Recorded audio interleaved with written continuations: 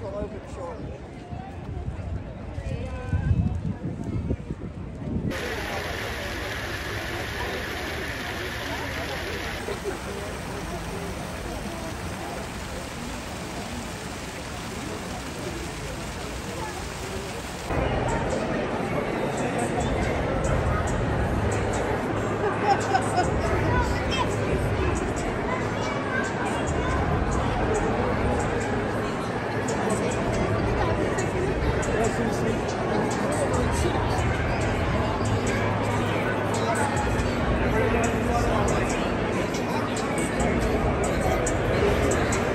taking pictures